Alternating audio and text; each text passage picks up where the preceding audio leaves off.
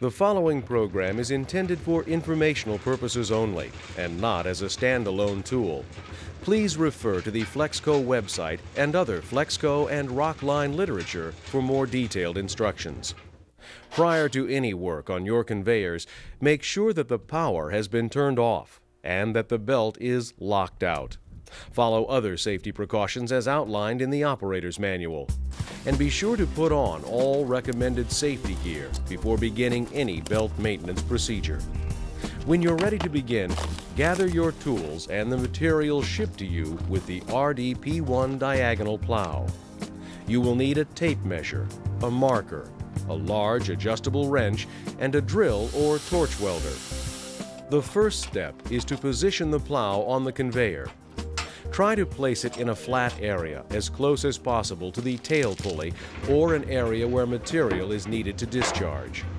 The plow should be at least 6 inches behind a flat return roller. One more thing to keep in mind, the point where you mount the plow should have at least 5 inches of vertical space between the belt and the conveyor structure. Now that you've selected a location, it's time to position the plow. Generally, it should be installed at a 45 degree angle, but this may vary depending on the width of your structure. Make sure that both ends of the plow extend past the belt's edges and that there are clear areas on both sides of the structure for your mounting brackets. Now you're ready to attach the mounting shaft to the plow frame. Start by threading two mounting shaft nuts onto the shaft until 3 inches of the shaft is exposed. Next, place a lock washer against the lower nut and slide the mounting shaft down through the hole in the plow frame.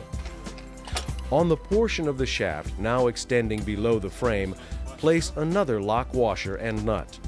Tighten them up to the frame, then repeat this process on the other side of the plow.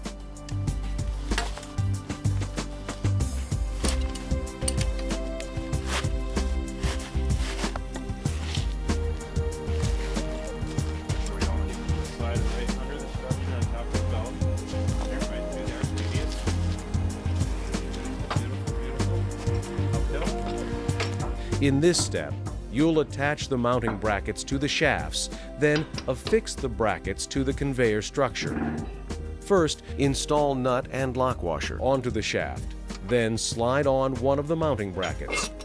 Keep in mind that brackets are reversible to allow for two different mounting positions.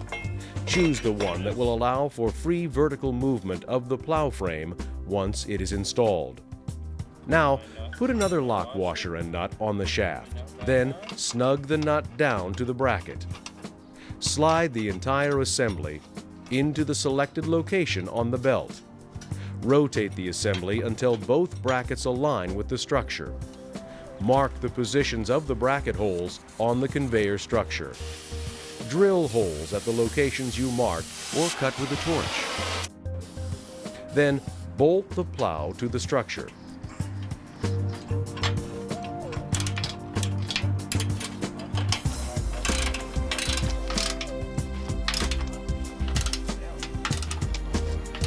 Now you'll want to tighten the top nuts on both brackets until the plow is sitting evenly on the belt.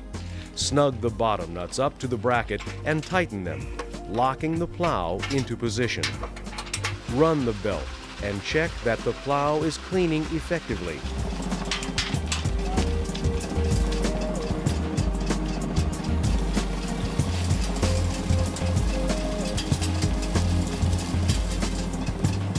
Additional adjustments may be required. To raise or lower the plow, simply adjust the nuts on the mounting brackets. For more information on the RDP1 diagonal plow installation, go to www.flexco.com or contact your authorized Flexco distributor.